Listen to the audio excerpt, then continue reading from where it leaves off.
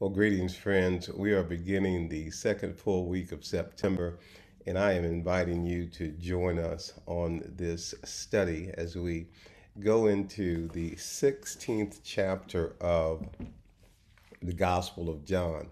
Uh, these chapters are known as the farewell uh, speech or farewell of advice to the disciples. And so we're going to lean in this week to John chapter 16. But first, we want to share a few things that we hope to accomplish in this study. Uh, first and foremost, the main idea is that uh, the invisible realities of our lives, our sure hope in Christ, and the work of the Holy Spirit, these visible realities, should change the way we view and react to our circumstances. The head information we want you to receive and think about is to get to the place where you know uh, to know that we will face temporary trouble in life, but also that our distress will turn to joy when Christ returns. That head knowledge that if you're in the midst of the pain, I hope you had a chance to listen to the message on yesterday, or that is on Sunday the 11th. That if there's pain, it will turn to joy. It's God's promise and it's God's process. And the heart, what we want you to feel, is to feel the pervading peace and joy of God as we put our hope in Jesus. And then the life change that we want to produce when the head and heart connect is to trust in the work of the Holy Spirit as He convicts and leads us. Yeah, uh, in the way of the true vine. amen and amen. Well, again, uh, some of you will be joining me on Wednesday, and some uh, Wednesday at 11, and others uh, Wednesday at 7 p.m and others you may not be available at that time. So we're hoping that you use this as a self study. But please uh, go ahead and invite a friend too to travel with you during this study. You can complete it in about an hour or take as long as you want as you delve into the questions that could be transformative in allowing God to prune some things, yeah, in your life so that you might produce that fruit and be bold enough to ask what you will, to see how God might bring things into your life in order that you might bear even more fruit. Amen. And so, throughout this study, what I will do is ask a question, and then I will say, uh, hit pause. And then from there, I'll come back and answer that question from my commentary as well. So let's dig in. Will be our icebreaker. when has a bad situation in your life turned out to lead to a happy ending? Hit pause.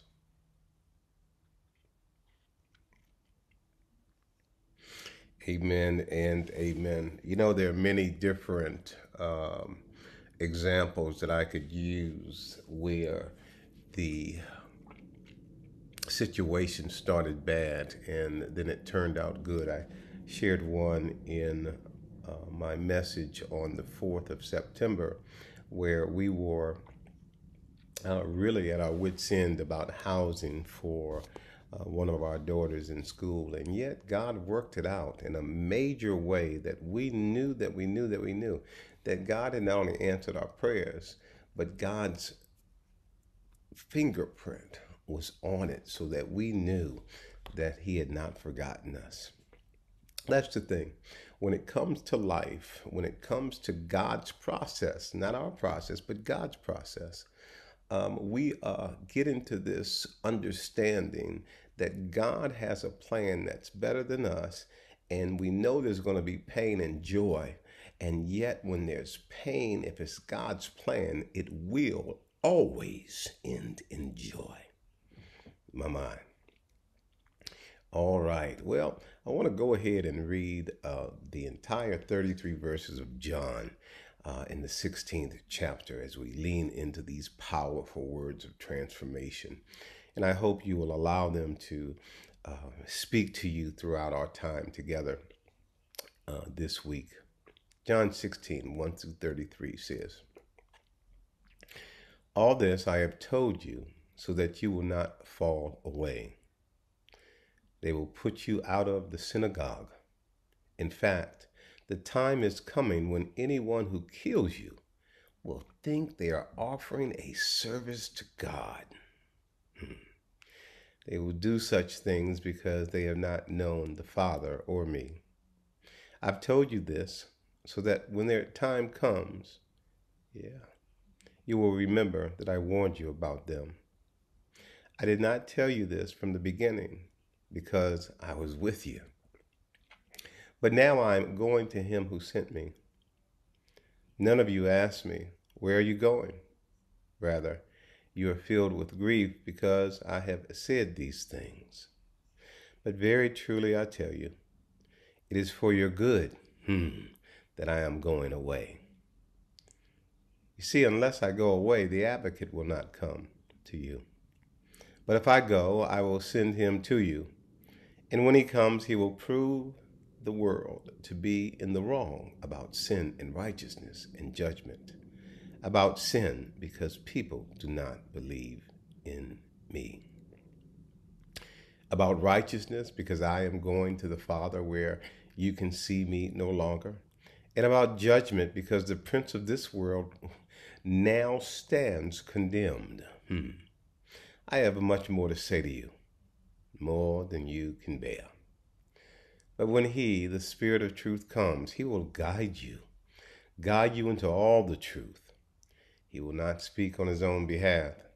He will speak only what He hears, and He will tell you what is yet to come. He will glorify me because it is from me that He will receive what He will make known to you. All that belongs to the Father is mine.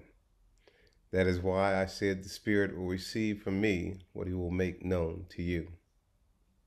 Jesus went on to say, In a little while you will see me no more. And then after a little while you will see me. At this, some of his disciples said to one another, What does he mean by saying, In a little while you will see me no more, and then after a little while you will see me? And because I'm going to the Father. They kept asking, What does he mean by a little while? We don't understand what he is saying.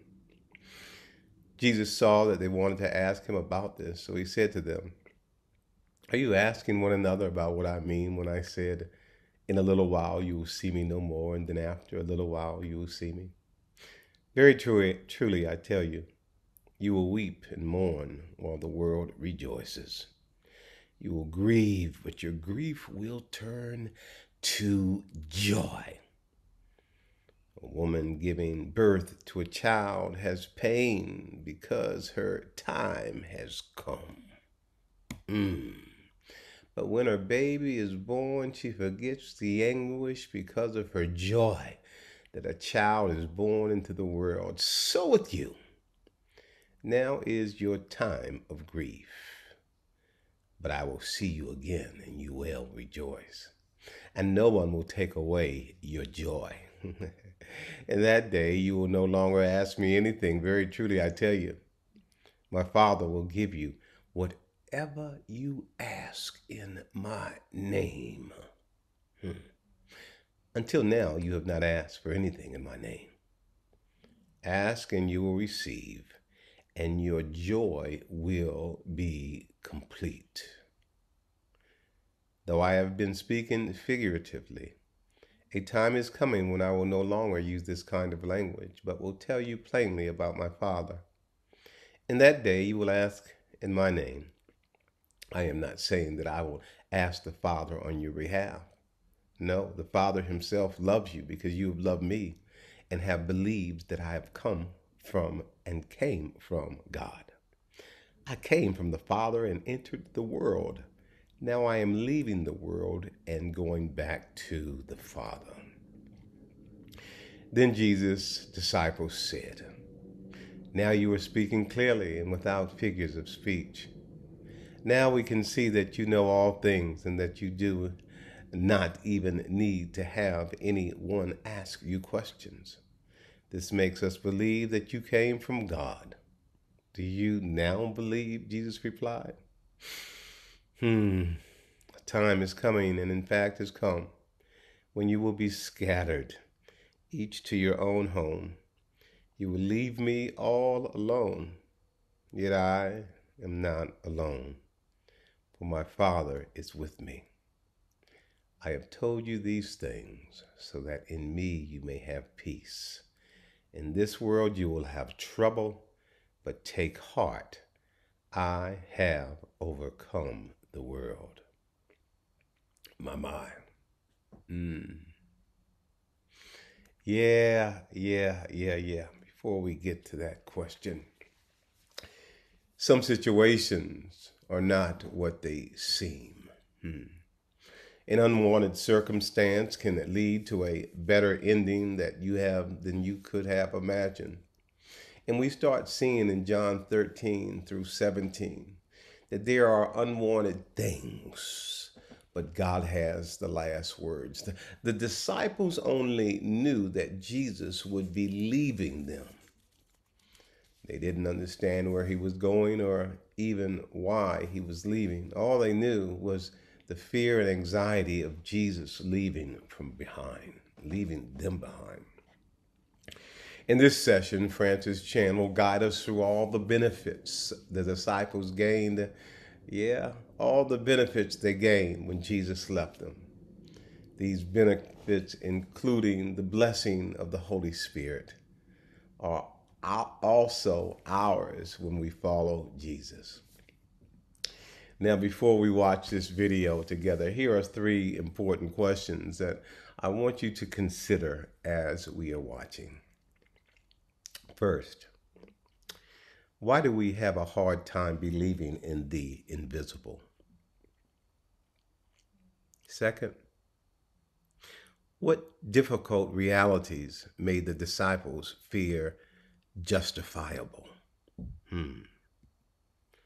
And three, what blessings did the disciples receive when Jesus left? Amen and amen. Well, Let's go to the video.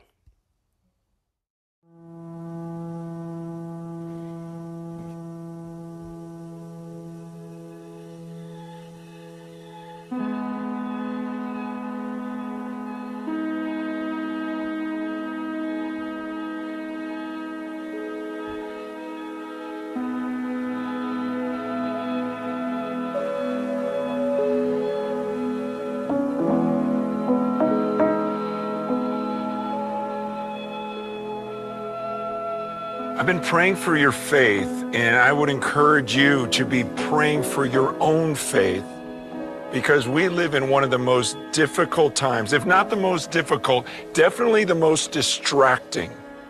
I mean, it's hard enough to like look a human being that you can see, look them in the eyes and have like a conversation where you're not distracted.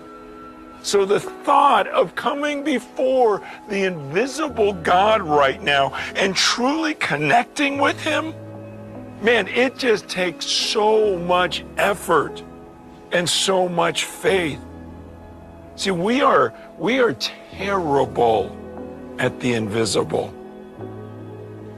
Living in the West, post enlightenment, where everything is about intellect it's so hard to believe in what you can't see in the invisible. That's why I pray. It's kind of like remember in uh, Second Kings, I think it's six, where Elisha is praying for his servant, and he says, "God, would you open up his mind? He doesn't. He doesn't see. Open his eyes so that he can see these angels, these these chariots of fire." And suddenly God opens his eyes, and and the servant's like, "Whoa, we're okay."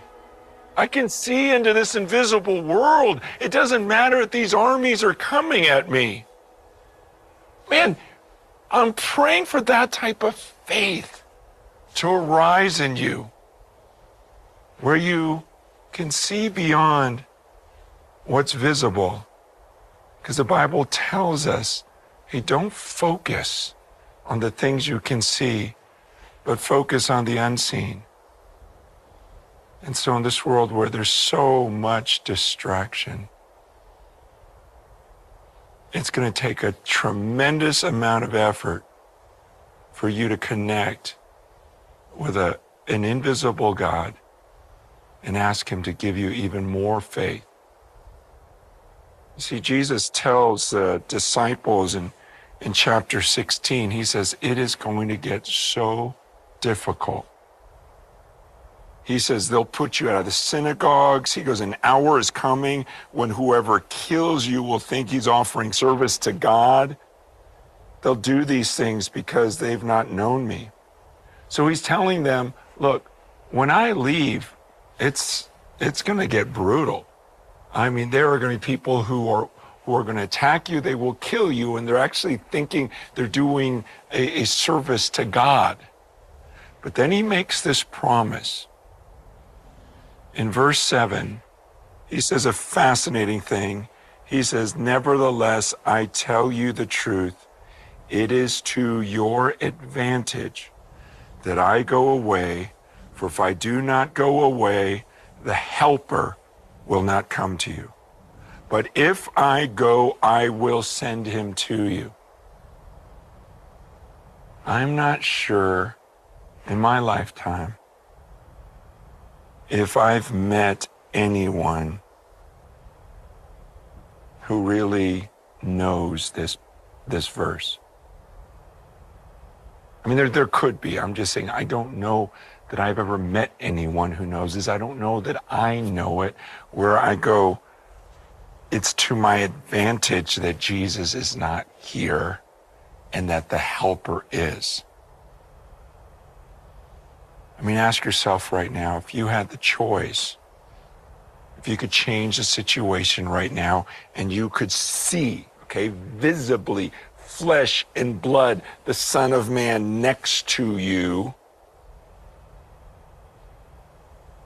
Or you can continue on with the Holy Spirit invisibly being with you and in you. Like, which seems to be the advantage? I mean, do you really live like you're better off right now without Jesus because you have such an understanding of the Spirit and He's moving in you so powerfully that you know you're experiencing that, that John 16, 7 promise that it's actually to my advantage? See, these are the things we need to seek in faith. In verse 8, he says, When he comes, he will convict the world concerning sin and righteousness and judgment. Jesus explained this is why it's going to be to your advantage. It's when the helper comes, he's actually going to convict the world of sin, righteousness, and judgment. There's something he will do, but he is in us. The idea is that the more the Holy Spirit fills me, then I can believe this promise that whoever I speak to about the truths of Scripture, the Spirit through me will convict them of sin and righteousness and judgment. This is why he says, You abide in me. If you are filled with me, you're going to bear fruit. Even those people who seemingly reject you, it says the Spirit will convict them of sin and righteousness and judgment. So my job then is to get as close to the Holy Spirit as possible, to know Him, to hear from Him, to believe in Him. He continues on in that passage and in verse 13 he says, when the Spirit of truth comes, he will guide you into all truth. For he will not speak on his own authority, but whatever he hears, he will speak, and he will declare to you the things that are to come. He will glorify me, for he will take what is mine and declare it to you. All that the Father has is mine. Therefore, I said that he will take what is mine and declare it to you. Stare at those verses. Again, don't explain them away. Stare at them. I spent a lot of years looking at verses like this and then just moving on, just kind of skipping them because they were too extreme. They were too explicit. They, they, they seemed too difficult. And, I, and, and what if I don't hear from him? What if I seek him and I don't hear from him? And so it's safer just to, to gloss over a passage like this rather than saying, God, I must know this. I've got to know this. I've got to know what you're talking about when he says that, that, that I'm going to hear him speak and he'll declare the things that are to come. This is our inheritance. I mean, what if you had some rich billionaire uncle that looked at you and said, "Look, when I when I leave this earth, that billion dollars goes to you." Then he passes away. What are you going to do? You're going to go after that. You're going to figure out where it is. And you're going, no, no, no. My uncle told me. And if you trust your uncle, you'd be like, I've got to figure out where this money is, how I get it. And here is Jesus, the Son of God, saying, When I leave, I'm going to send this helper. And here are some promises. And he's left this earth. And, and this is our inheritance. Somehow we are supposed to attain to these verses. And so, are you seeking this? Are you doing whatever you can? To go, God, I have to know this. You understand why I say now, look, I've got to know this. Before my life ends, I want this more than anything else I could think of to know John 14 to 17.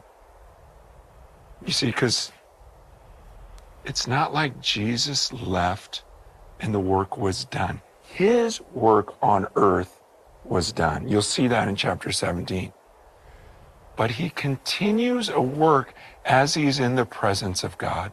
The ministry goes on. That's why he says in verse 26, in that day you will ask in my name.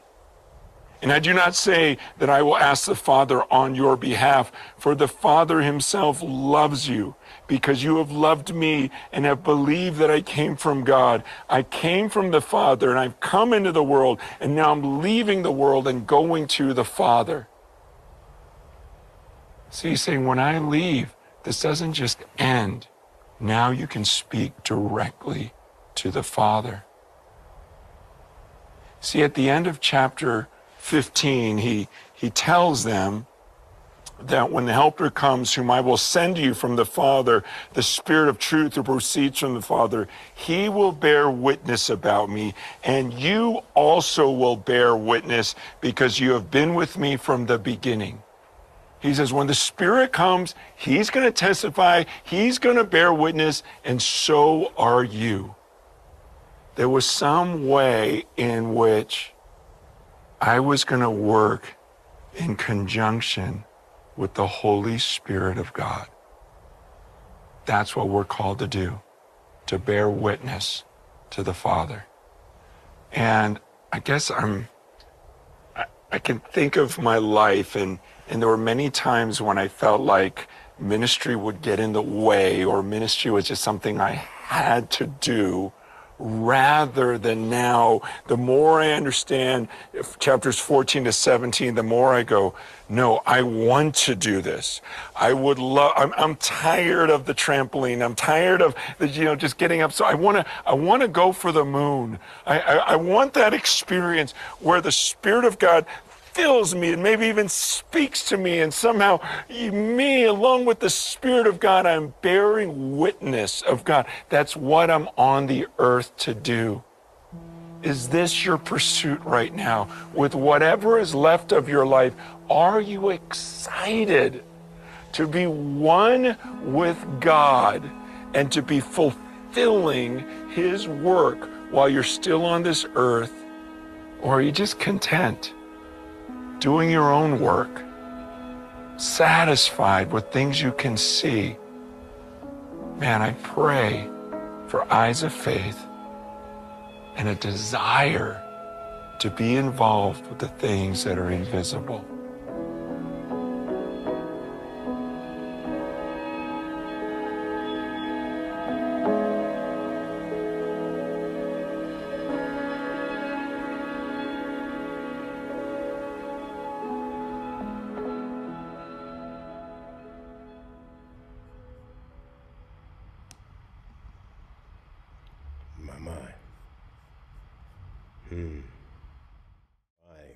Us lean into our questions together. First, why do we have a hard time believing in the invisible? Go ahead and hit pause. Some of the reasons why we have a hard time believing include all the distractions. Yeah.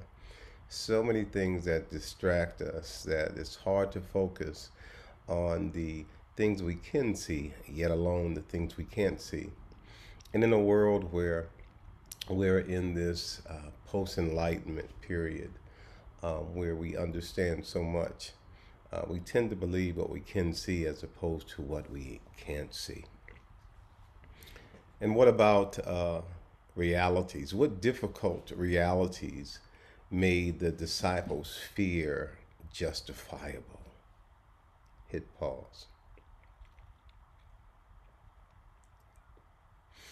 Yeah, Jesus told them, right, um, that you're going to be kicked out of the synagogue.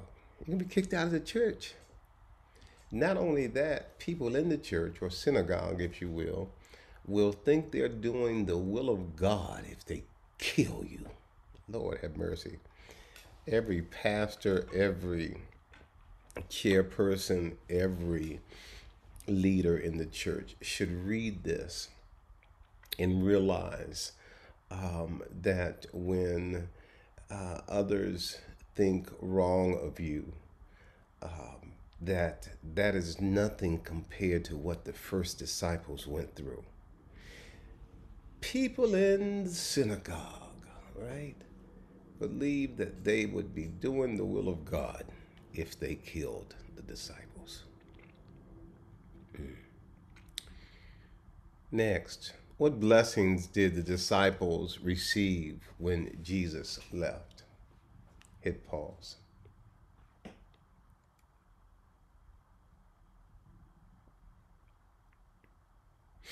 Well, Dr. Chen did a great job there. He, uh, they received the Holy Spirit and they received the promise that the Holy Spirit would be within them and the Holy Spirit would work through them.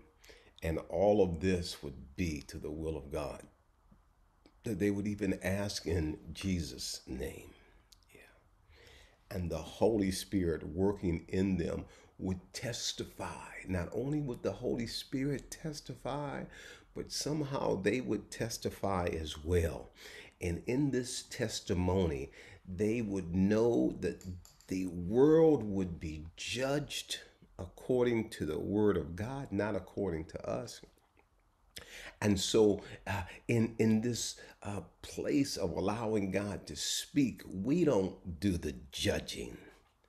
We let the word of God speak in love and go to bear the fruit that speaking in love does. Hmm. Yeah, yeah, yeah. Francis uh, opened the session uh, highlighting a problem as we struggle to believe in things that we cannot see. And in the West, of course, we tend to trust in the scientific method, things that we can see, seeing things that we can touch, things that we can feel. Yeah, these are the things that we believe in. Uh, in and invisible realities feel unsubstantial and more difficult to rely on. And so it is. We ask the question why do you think it's hard for us uh, to trust the invisible? Mm. Hit pause.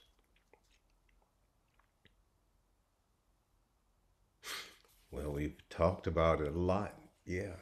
There's so many things that we see that we don't understand, yet alone that which we don't see. In this super fast paced world, it takes intentionality to slow down and see the invisible. Yeah, yeah, to hear, yeah, uh, the that which is not audible. Yeah, to feel the intangible. It takes focus and it takes intentionality. I'm going to go ahead and read now before we go to the fifth question. I want to go back and read John 1 through 4 and 31 through 33. This is what Jesus says. All this I all of this I have told you so that you will not fall away. They will put you out of the synagogue. In fact, the time is coming when anyone who kills you will think they are offering a service to God. They will do such things because they have not known the Father or me. I have told you this so that when their time comes, you will remember that I warned you about them. I did not tell you this from the beginning because I was with you. Hmm. And then verses 31 through 33. Do you now believe? Jesus replied. The time is coming, and in fact has come, when you're going to be scattered, each to your own home. You will leave me all alone, yet I am not alone. For my Father is with me, and I have told you these things so that in me you may have peace. In this world you will have trouble, hmm. but take heart. I have overcome the world my mind. So we ask the question what did the disciples have to look forward to when Jesus left them? And why was Jesus telling his disciples about their hard futures? Mm, hit pause.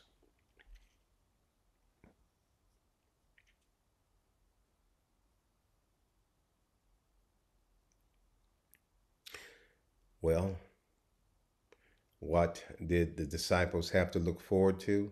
They had to look forward to a lot of trouble, right? When Jesus left.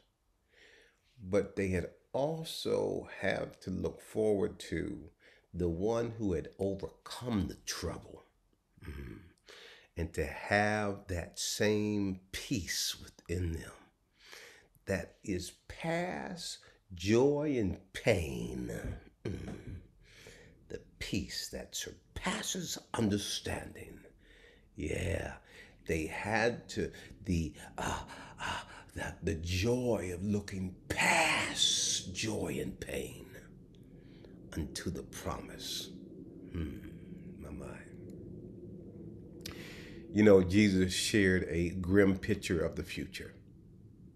None of us want to hear that we will be kicked out of our place of worship be scattered and separated, be filled with anxiety, or become martyrs. No one wants to hear that. But Jesus shared this difficult future with his disciples so that they would be kept from stumbling and have peace. He warned them so that they would be kept from stumbling and they would have peace. In what ways could knowing that difficult times will come keep us from falling away from our faith? Hit pause.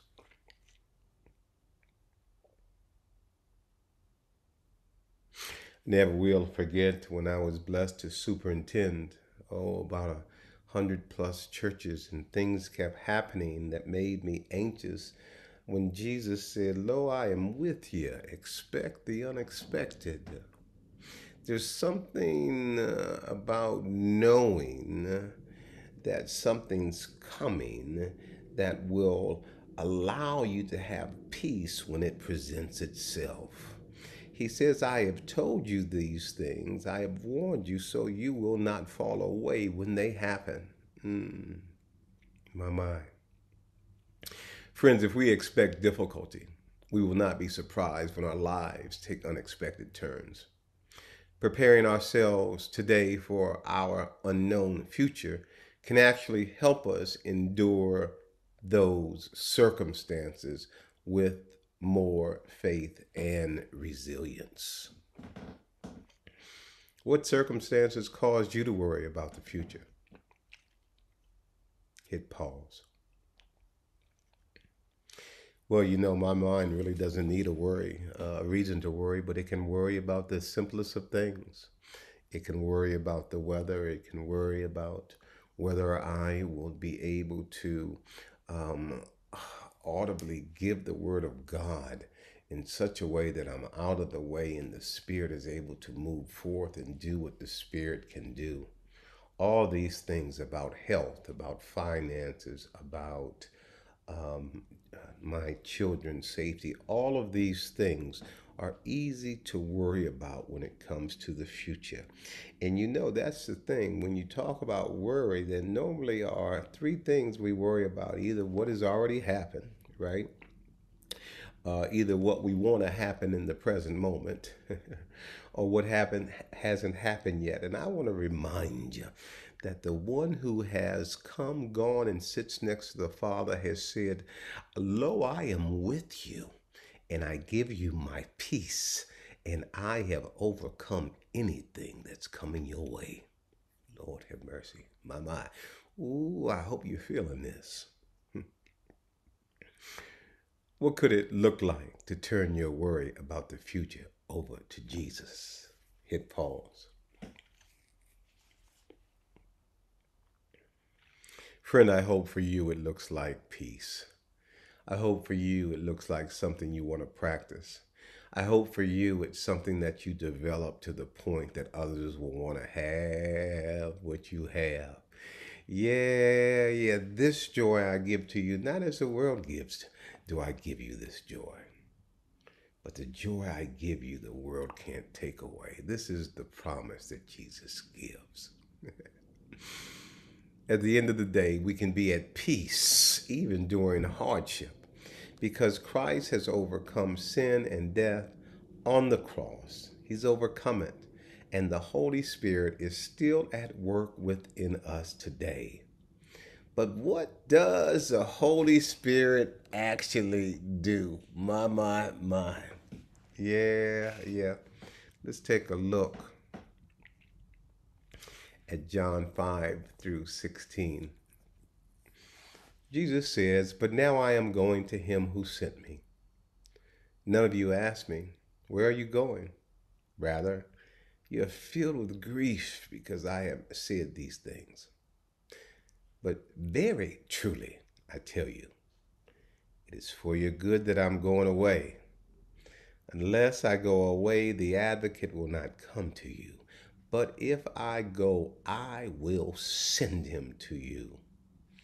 When he comes, he will prove the world to be in the wrong about sin and righteousness and judgment. Lord have mercy. About sin, they will be wrong because people did not believe in me. Hmm. About righteousness because I am going to the Father where you can see me no longer and about judgment because the prince of this world now stands condemned. Lord have mercy. I have much more to say to you, more than you can now bear. But when he, the Spirit of truth, comes, he will guide you into all the truth. He will not speak on his own, he will speak only what he hears, and he will tell you what is yet to come. Hmm. He will glorify me because it is from me that he will receive what he will make known to you. Yeah, yeah. All that belongs to the Father is mine.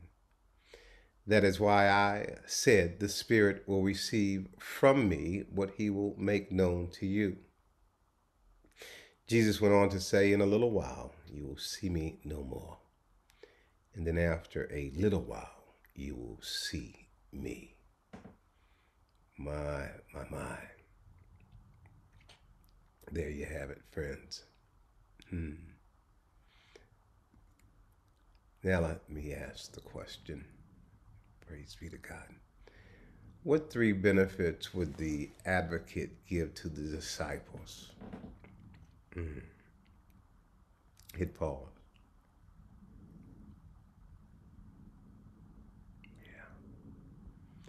We see that the advocate will give them truth. The advocate will give them guidance. Mm. And the advocate will be with them, speaking everything that they have heard from the Father. The advocate will even tell them and us what is to come. My mind. Mm. In what ways do you benefit from these blessings? Hit pause.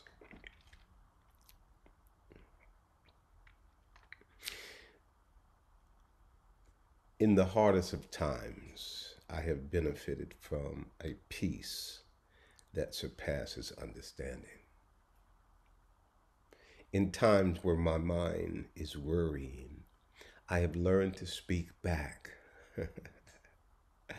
yes, I have come to understand that the psyche that is the mind that keeps on turning like a computer is an object.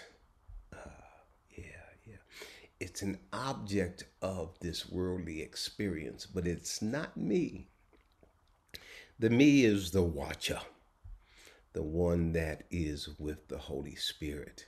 And I am able to speak back through that Spirit to say, Peace, be still, and able to use techniques to quiet this uh, uh, object in my mind.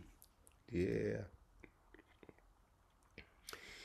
When Jesus left, he was able to send the Holy Spirit who convicts the world of sin, leads us in all truth, and glorifies Jesus.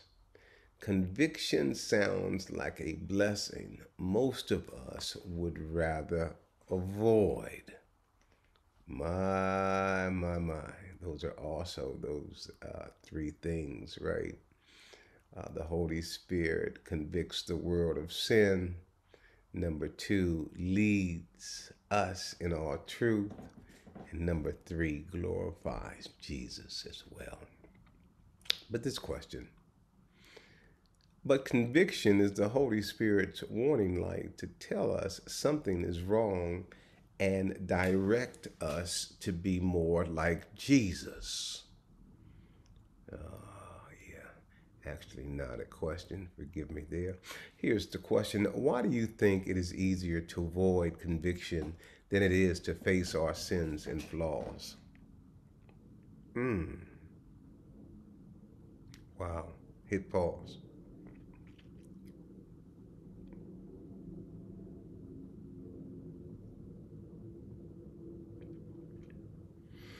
Why is it easier to avoid conviction? Yeah, the Holy Spirit who convicts the world of sin, we can avoid. Why is it easier to avoid that than it is to face our sins and flaws? Well, is the path of least resistance. Often there is uh, power in following along the safest route that the psyche will tell you to take, as opposed to looking at uh, the psyche, to looking at our minds as an object, a tool, often used by the enemy against us. It is each easier, it takes more energy. And so we must focus, we must be the watcher of our thoughts and see if they come in accordance with the will of God. 13. What could it look like to listen and respond to the Spirit's conviction when you feel it? Hit pause.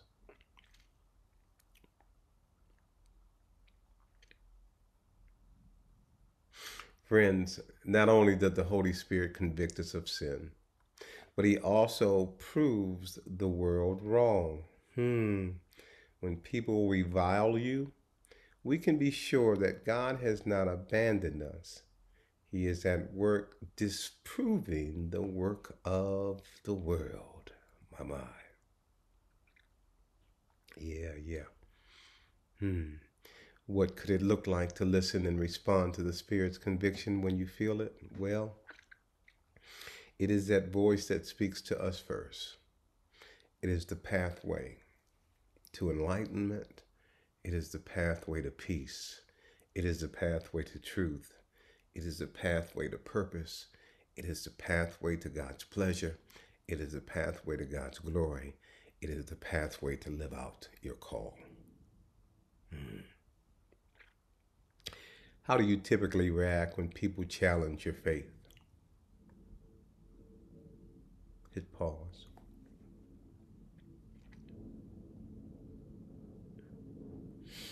You know, it depends. Uh, sometimes it is a reaction, and I will become defensive if I am not manning the fort in my head. Mm. And at other times, if my spirit becomes offensive, I ask God the question God, what is there in me that resonates with that that you wish to expel from my being. Yeah, yeah. What could you do to trust in the Holy Spirit when people oppose you because of your faith? My mind. Mm. Hit pause. Let me suggest that we can be reminded that this is what Jesus said would happen and we can ask the Holy Spirit for us to not throw the baby away with the bathwater, for the Holy Spirit to reveal with us any truth in what is being said, and any falsities as well, so that we can rightly divide the word of truth and get better when it's a word and not get down when it's fallacy. Mm. Finally, the advocate glorifies Jesus. Yeah, yeah. The Spirit is like a spotlight in a dark concert hall, shining solely on Jesus. He directs us to focus on Him in every situation. Where in your life is the Spirit encouraging you to focus more on Jesus? Hit pause.